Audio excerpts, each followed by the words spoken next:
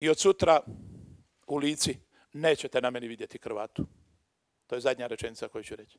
Nema kravate na terenu. Zasukaću rukave,